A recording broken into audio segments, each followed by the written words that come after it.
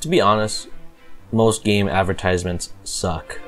They're just this 15 one minute second videos that are just in the way of the thing that you're actually watching.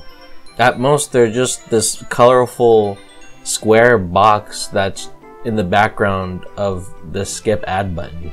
But, and I vividly remember the first time I saw an ad for Albion Online.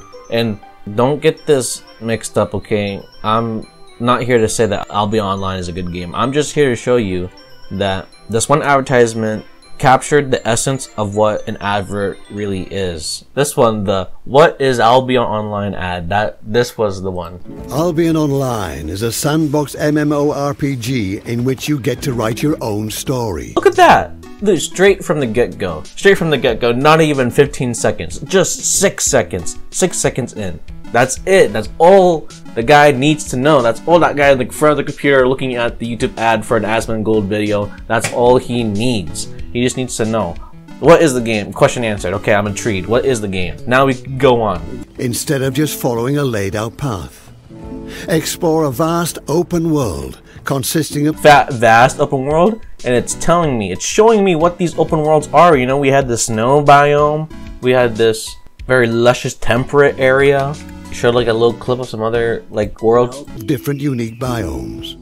Everything you do has an impact on the world, as in our player-driven economy. Player-driven economy? And what are they showing?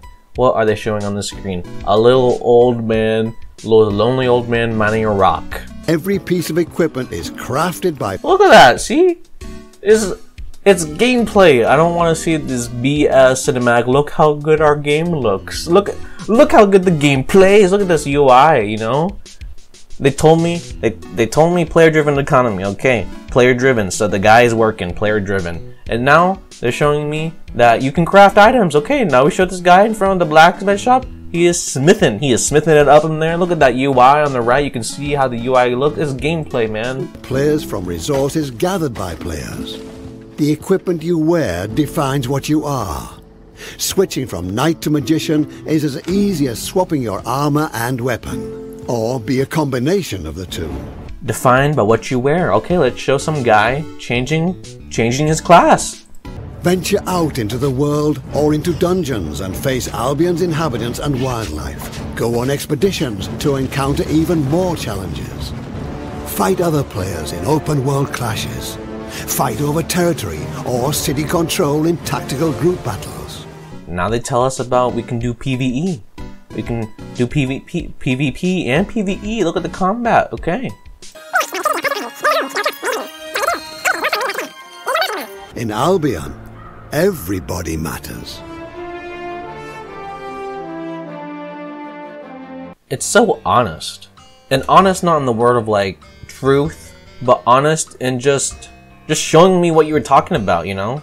You don't need to hide stuff behind a Pixar level movie animated and composed by Hans Zimmer just to, just sell me on a mobile game. You know, this it just showed me what I wanted to know about the game. What is Albion, okay? Albion, fantasy MMORPG sandbox open world, player driven economy, player gathered, join guild, PvP, PvE, combat, dungeon area, raids, guild combat, world combat.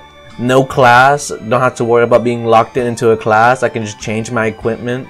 It was just so very effective and I miss this type of advertisement. I miss this non-theatrical, non like trying to be funny, trendy, relatable type of advertisement. I just want you to show me what your product is, what it does, why do I want it, and how do I get it.